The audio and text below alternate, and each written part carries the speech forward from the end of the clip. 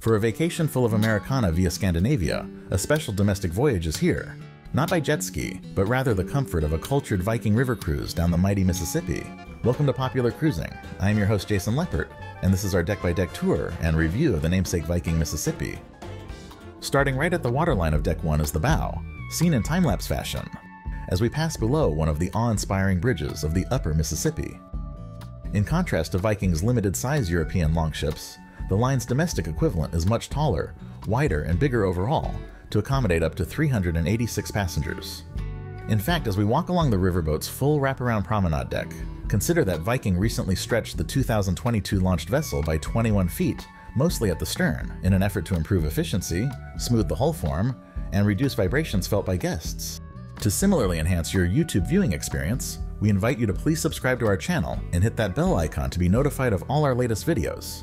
As we finish our stroll, it's worth noting also that the Mississippi product draws 85% of guests who have already sailed on Viking, so you know you'll be in good company when you plop down into one of these cozy rocking chairs while riding your cares away behind the American-made builder's plate.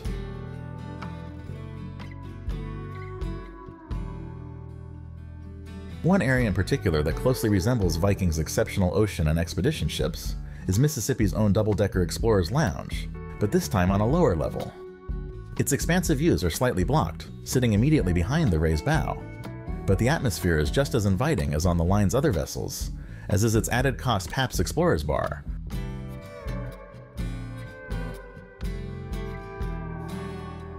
Where I enjoyed my favorite coconut lavender lemonade, rendered creamier here than aboard the rest of the fleet. The lower level of the lounge features a grand piano, but I didn't see this one played during our sailing. Next door is the riverboat's scale model adorned forward lobby, and friendly guest services desk, complete with illuminated passages from the literary collection of Mark Twain. It was here too that the crew freely served us non-alcoholic slushies as a sublime oasis, chasing the destination's unseasonably sweltering heat. Speaking of the heat, while it was great to see familiar Helly Hansen Viking logo jackets on sale from the boutique, they weren't exactly top sellers on our sailing date, but a Finse plush is always a good idea to take home. Extending from there is the living room and attached library, as well as self-service included coffee station with cookies throughout the day, to take and enjoy at several nooks and beyond. The expansive gathering space is conveniently contiguous to the observation lounge, making the forward venue a good overflow when this one fills up with passengers during daily briefings. And I sure appreciate the high-tech translucent display screens that can be seen through to make the space feel visually larger, and it's all nicely decorated with Viking's usual Scandinavian accents, from a game and puzzle corner, to said library full of fiction and nonfiction books. It really is an impressive selection for an intimately sized ship. And I must point out my affinity for the venue's U-Turn Audio Orbit custom vinyl record player, given I own the same make and model, also in walnut wood. However, it's the live music that most shines thanks to a great house jazz trio that puts to better use the piano here, as do talented guest entertainers, like a classic pianist, or even Billy Joel, an Elton John tribute artist. Also familiar to former Viking guests will be a display of traditional Nordic dress, as well as welcome bonus seating nooks like this handsome waiting area at the restaurant. The ship's full-service main dining room is of course included, and looks very much as it does on the line's other vessels. Daily menu offerings are larger than on the European longships, but not quite as extensive as on the line's global ocean vessels. Still, food quality is up to the standards of the seagoing ships, including the likes of a regional Louisiana jumbo lump crab cake, decadent mushroom brie soup, traditional Norwegian gravlax, full-on surf and turf, and a seriously sweet strawberry Monte Rosa cake. All before making it up to deck 2, where the Upper Explorers Lounge is located. This level used to be configured just for lounging, but has since been converted to double as a lecture hall with drawable curtains. This makes the space a good secondary alternative to the living room downstairs, for interesting presentations and fun trivia sessions alike. But when not in use for these purposes, the drapes unfortunately are not fully pulled back to showcase the view, an architectural loft overlooking the bar below.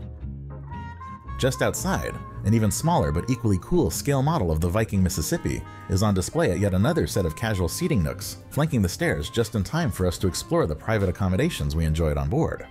Our 268 square foot deluxe veranda stateroom was marvelous, especially for being nearly identical to the same category on Viking's ocean ships.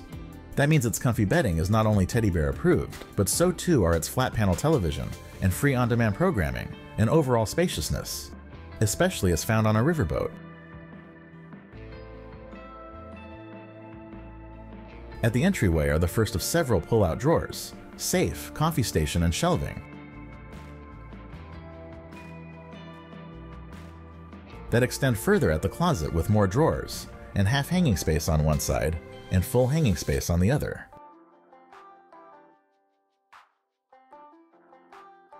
Nightstands, having neglected some crumbs in their cleaning, are at least marvelous for featuring electrical plugs and multiple USB charging ports at both sides of the bed. Below Viking's sweet showcase of children's art inspired by the destination are two chairs and a table, but sadly there is no available room service to best take advantage of them. Still great though is the vanity desk design, with awesome pull-out style mini fridge and flip-up lit mirror, plus QuietVox audio devices, and another set of electrical plugs, and many more USB charging ports. Outside, the balcony is great except for cobwebs and the debris of flying bugs, which are somewhat unavoidable in the region. But back inside there is even more to praise, notably entry-level bathrooms that are anything but cramped.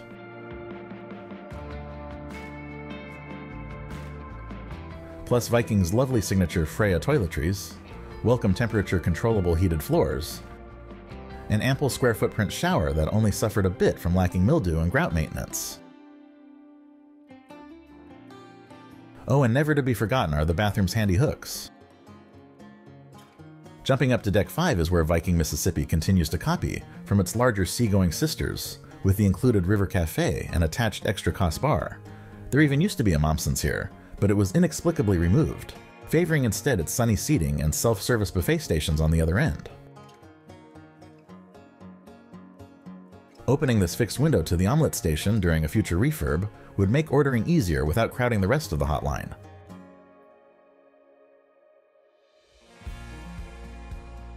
But once to the other breakfast items here, some exceptional biscuits and gravy and other staples await. And lunch is equally as appetizing thanks to other comfort foods, pizza, and more.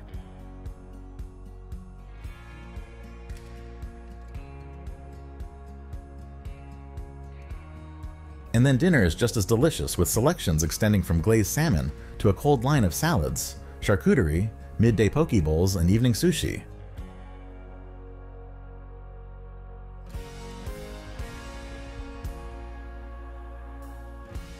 Meanwhile, desserts including exceptional cookies beckon from the other side as the bar's neat live edge counter stretches beyond. And that's not even pointing out the additional Aquavit terrace and dedicated and still included barbecue, which at lunch serves burgers and other grill items in addition to side salads. And at night offers a raw bar of shellfish and cooks up perfectly seasoned steaks. For even more surf and turf, and a side of makeshift loaded mashed potatoes. My wife and I were so thoroughly impressed with the buffet and its available alfresco views that we only dressed up to go to the main restaurant twice, since we preferred staying casual here.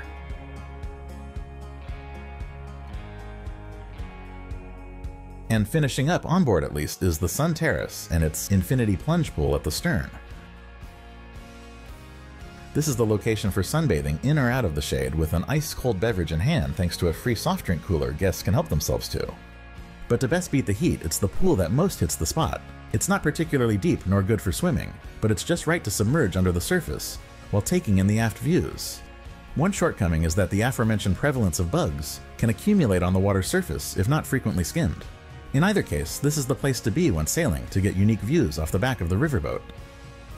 As seen here as jet skis chase us to play in our wake from the fully translucent side.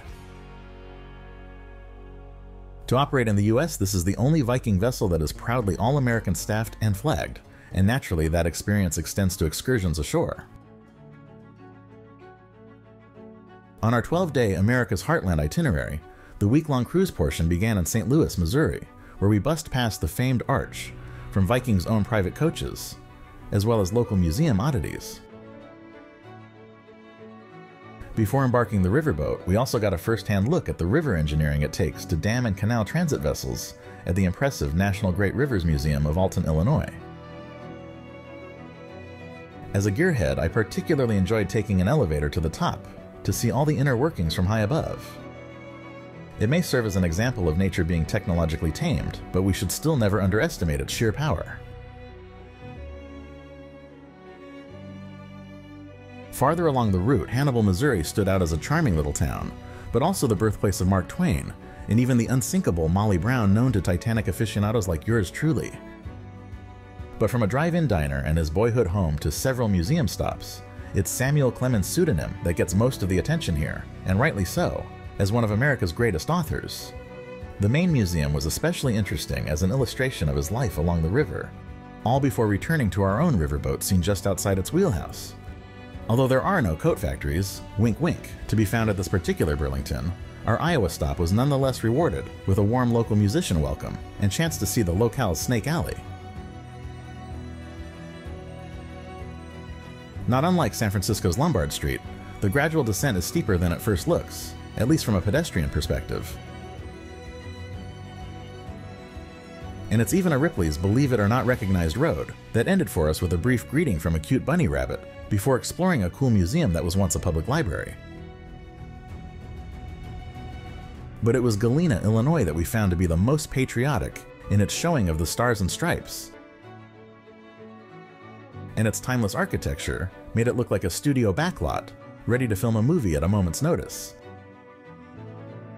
And nothing says Americana quite like a root beer tasting. Who knew there were so many varieties on tap to try? Of course, the soda sampler didn't preclude us from grabbing an ice cream from an old-fashioned parlor as well. As became a recurring theme on our trip, La Crosse, Wisconsin showcased our national symbol of the bald eagle, steps from where Viking, Mississippi docked, as did this adorable bronze statue of children and their dog. And yes, once again we managed to find ourselves in a trio of a confectionery, ice cream parlor, and coffee shop. What can I say, we do love our sweets. And once to Wabasha, Minnesota, the National Eagle Center took center stage as punctuated by a beautiful fountain, and where habilitating eagles can be seen up close and personal. That sure is one impressive animal and facility overall. On the same day, we also visited the Maiden Rock Winery and Cidery of Stockholm, Wisconsin, where we learned a bit about bees, but not the birds, mind you, and then tasted several yummy ciders out in the beautiful orchard. Last but not least, our river cruise concluded in St. Paul, Minnesota, where yet another fountain and striking architecture drew us in, and we just happened to be there in time for the Minnesota State Fair. So we headed over to try its latest bizarre foods, like a surprisingly delicious pickle pizza and less tasty fried ranch dressing.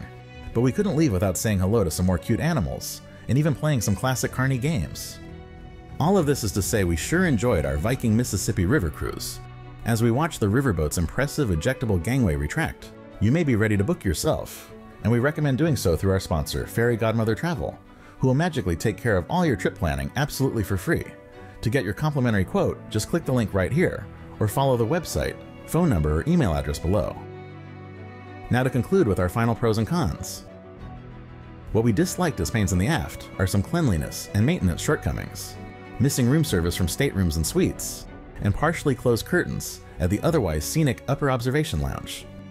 But what we most liked and can take a bow are the significant efforts already made to improve the relatively young vessel, its super friendly service and tasty comfort food, and overall, it's near perfect blend of Viking's other river, ocean, and expedition ships. Thanks so much for watching. If you would, as it really does help support us, please like this video with a thumbs up and subscribe to our channel, while hitting that bell icon to be notified of new videos. Watch our other ones and visit popularcruising.com.